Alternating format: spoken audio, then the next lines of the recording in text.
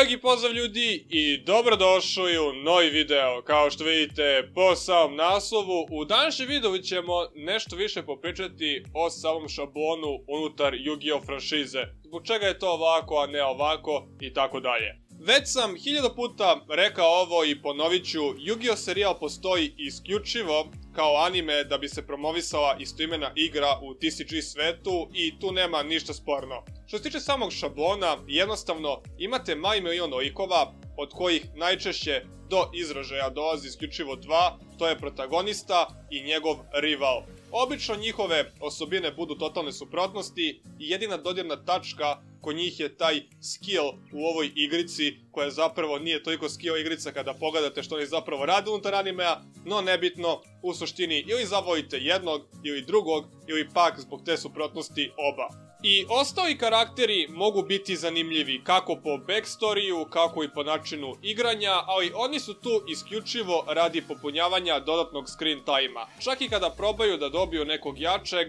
oni na neki neviđeni način izgube, samo da bi naš protagonista dobio taj finalni meč kakav zaslužuje i da bi bio kao real king. Naravno, kada pričamo o čuvenim Yu-Gi-Oh šablonima, moramo spomenuti i te ljubavne motive koji nikada ne dođu do samog vrhunca. Doduše, u prvom originalnom Yu-Gi-Oh serijalu to baš i nije toliko primetljivo, zbog čega, jer imate lika sa dve duše i sama likuša iz tog serijala, to je Stea, je rešila da drži distancu, jer jednostavno taj ljubavni trougao nikad ne bi uspeo u tom svetu.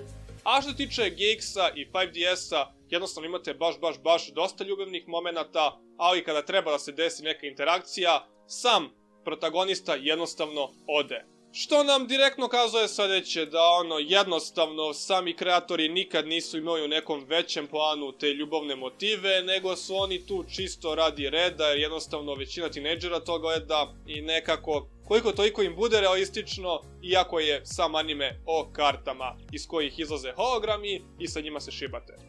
Sljedeća stvar postoji u svakom Yu-Gi-Oh serijalu, ali se razlikuje od samog serijala. Zašto? Jer da je isto svuda, bio bi nepodnošljivo gledati samu franšizu u kontinuitetu i nijedna osoba na ovom svetu ne bi pogledala više od dva Yu-Gi-Oh serijala. A to je način na koji sam protagonista pobeđuje. Ako se osvrnemo na originalni Yu-Gi-Oh serijal, to je u principu izgledalo ovako. Sam Yugi dosta pasivno ulazi u sam taj meč, vremenom gubi i onda neočekivano, pod znacima navodnika, pobeđuje sam meč uz pomoć svojih karata i prijatelja. Bez veze, ali to je tako, jebi ga. Sljedeću stvar ste mogli videti podosta u početnim Yu-Gi-Oh serijalima, posla je dosta manje, gotovo ne uopšte, jer ste imali mali milion karata novih i jednostavno sami dueli su se mogli odigrati na 101 način. Ali u početnim Yu-Gi-Oh serijalima to zapravo nije bilo tako, jer čak niste imali ni te tematske špilove, pa je dosta teško bilo napraviti neki duel, a da ima nešto preterano smisla.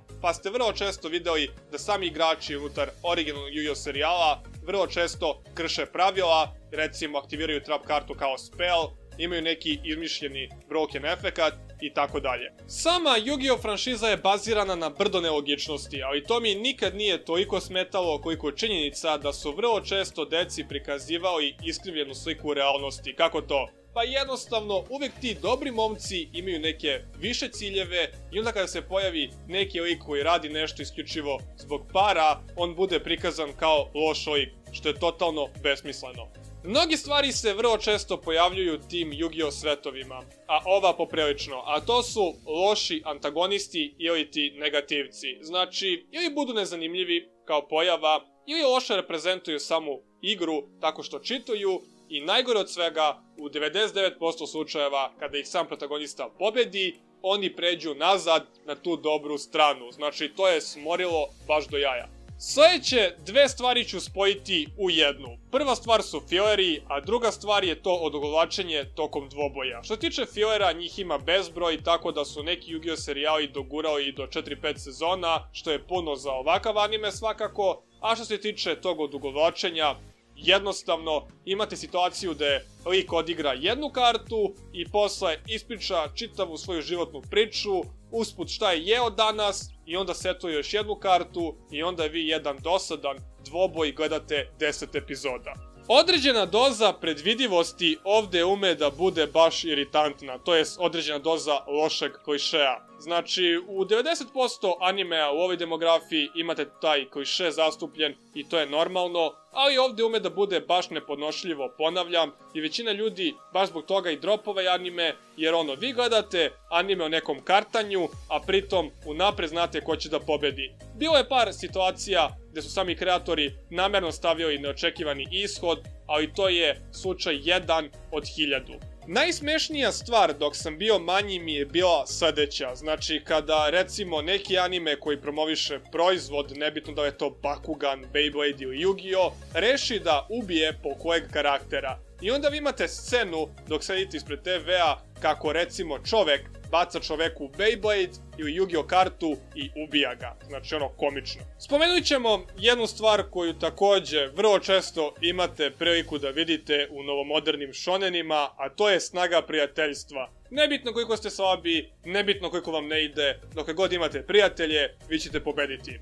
To je manje iritantnije, ponavljam, kada je recimo reč o nekom battle shonenu, a i vi ovde imate shonen o kartama i jednostavno kada lik izvuče kartu, samo to što prijatelji veruju njega i recimo mu daju neku snagu, duhovnu, bude stvarno smešno. O ne, umalo da zaboravim. Kada pričamo o tim šablonima, moramo da spomenemo i te vizualne. Kada pogledate svakog protagonistu i same likove i njihovu oštrinu kose, cenim da bi svakom od vas oni vrlo lagano presekli grkljan. Ah, to srce u kartama koje se prenelo iz originalnog Yu-Gi-Oh! serijala u mnoge druge Yu-Gi-Oh! serijale, sam pojam nikad zapravo nije bio objašnjen, ali očigledno je da je neki vid plot armora gde sam protagonista uvek izvuče kartu koja mu zapravo treba.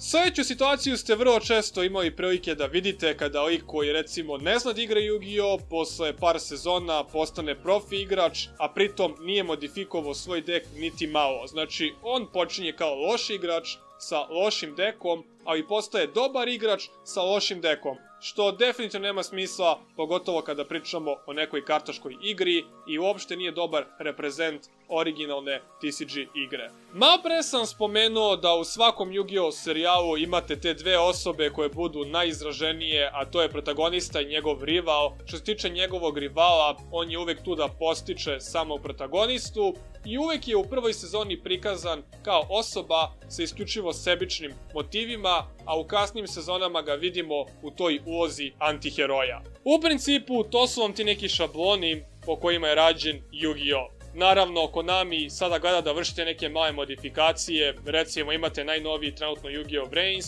koji uopšte nema svoju mangu, to je srađenje bez uzora na mangu, a dobit ćete 2020. totalno novi Yu-Gi-Oh! serijal koji će biti totalno realističan, imaćete priču dečaka koji menja dekove i ide na Yu-Gi-Oh! turnire. To je u principu bilo to što tiče ovog videa, a mi se vidimo u nekom sledećem. Do tad, veliki pozdrav!